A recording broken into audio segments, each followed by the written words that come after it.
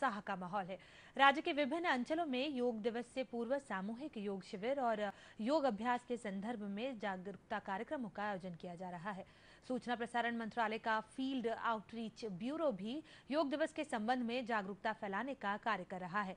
आदिवासी बहुल बालाघाट ज़िले के ग्राम धनसुआ में फ़ील्ड आउटरीच ब्यूरो द्वारा आयुष विभाग के चिकित्सकों और योग प्रशिक्षकों के सहयोग से योग के महत्व के संबंध में जन जागरूकता फैलाई गई। इस दौरान प्रश्न मंच रैली, चित्र प्रदर्शनी एवं डॉक्यूमेंट्री फ़िल्म का प्रदर्शन किया गया। इस दौरान योग विशेषज्ञों ने योगासन करके उनके विभिन्न फायदों के बारे में भी ग्रामीणों को बताया। ग्रामीणों ने भी नियमित तौर पर अपने जीवन में योग अपनाने के प्रति अपनी प्रतिबद्धता जताई।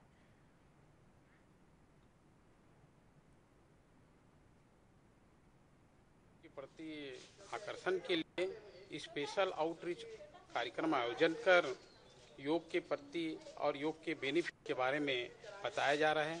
साथ ही इसमें योग प्रशिक्षक और आयुष विभाग के चिकित्सक को जोड़ा गया है, जिसमें बड़ी संख्या में महिलाएँ हैं, बड़ी संख्या में युवा वर्ग हैं और इनको योग से जोड़ के हम उनके जो दैनिक जीवन में प्रतिदिन जो दिनचर्या है उसमें योग को बढ़ावा कैसे दें, उस पर क्वेश्चन आंसर के माध्यम से रैली के माध्यम से, मौखिक चर्चा के माध्यम से योग का प्रचार प्रसार किया जा रहा है। योग मोदी जी की सरकार में 2015 से स्टार्ट हुआ।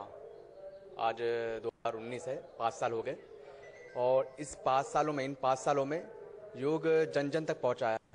जो ग्रामीण क्षेत्र है, वहाँ तक पहुँचा है और उनको आराम है।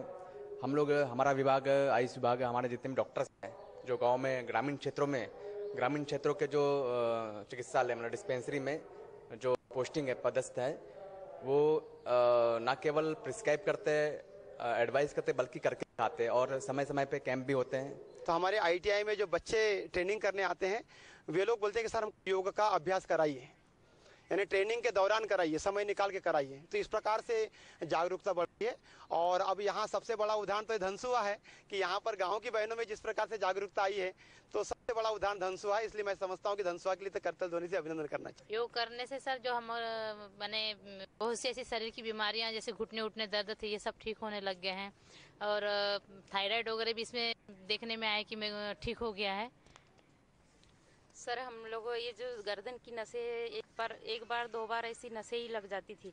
तो हम लोग यहाँ पे गाँव में कैंप लगा था स्वास्थ्य शिविर, उसमें हमने दिखाया तो हमारे यहाँ पे जो डॉक्टर्स आए थे, उनने बताया कि बोले, इसके लिए कोई दवा ववा नहीं है, आपको योगा करना है। तो वो मतलब योगा करे थे हमने तो ये गर्दन की नस है।